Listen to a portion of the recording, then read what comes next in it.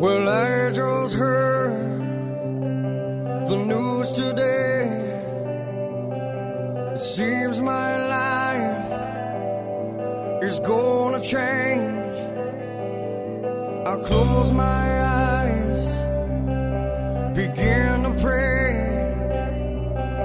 Then tears of joy stream down my face